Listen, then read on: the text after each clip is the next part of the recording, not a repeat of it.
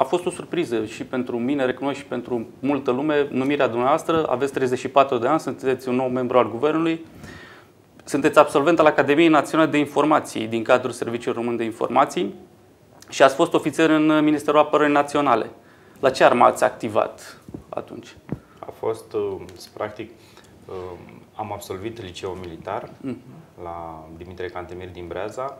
Au existat anumite locuri speciale în care aparțineau instituțiile militare de învățământ, dar cu școlarizare la Serviciul Român de Informații în Academia Națională de Informații, iar specialitatea absolvită la Academia Națională de Informații a fost comunicare socială. Dar în Ministerul Apărării Naționale, am înțeles că ați lucrat 5 ani acolo. Da, am lucrat în Ministerul Apărării Naționale din 2003 până în 2008, 5 ani de zile perioada în care m-am ocupat, conform specialității, de comunicare socială, probleme interne, resurse umane. Uh-huh. În ce departament, specifică. practic? În, în aparatul central al Ministerului?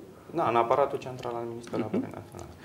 În CV spuneați că v-ați ocupat cu recrutarea de personal da. și cu analizele de risc. Concret, în ce consta activitatea de atunci a noastră? Bun, analiza de risc și recrutarea de personal erau două componente ale activității da. în acel moment. Practic, persoanele noi care doreau fi încadrate, erau proceduri de verificare, prezentau garanții, mm. prezentau factori de risc pentru încadrarea Ministerului Apărării Naționale. Aceasta a fost. Dar ce grad aveați, apropo? Locotenent.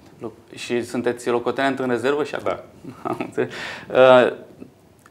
Membru de partid sunteți? Nu, nu sunteți și aici aș vrea să punctăm că m-ați întrebat, surpriză în mine. Da. A fost acel moment în care domnul Darius Vulcov a trebuit uh-huh. să mhm. părăsească Ministerul de Finanțe. Soluția a reprezentat-o în viziunea domnului premier, mutarea domnului Teodorovici acolo. Am, uh, vă spun sincer că nu a fost foarte ușor să accept această funcție. Au existat foarte multe contradicții, inclusiv da. în mine, ca să spun așa.